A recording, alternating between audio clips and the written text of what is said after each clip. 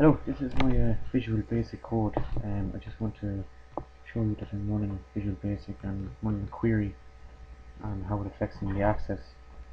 And um, on this particular one, it's a, a, query that orders that haven't been paid on the orders table from customers.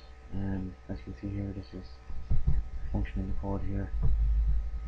And um, that's the name of it here. Uh, selected order ID, the date, total, order paid they're the headings what I want to show and then obviously from the table orders and the order criteria to know.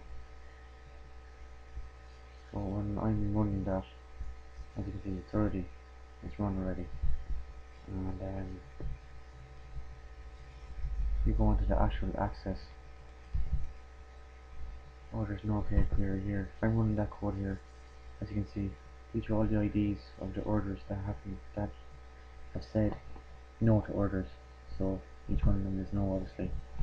And that just proves that the the code and the visual basic the query that I created um, has worked. Um, I want to take for another example um, the color of products. So if I open that in visual basics color of products. So here what I wanted to do was I select the products ID, the type, the price and the color. And I set the products where the color is equal to blue.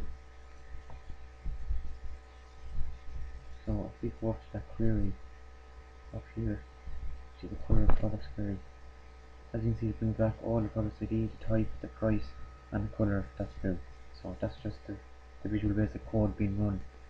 And um, its effect on the, the access. So, thanks very much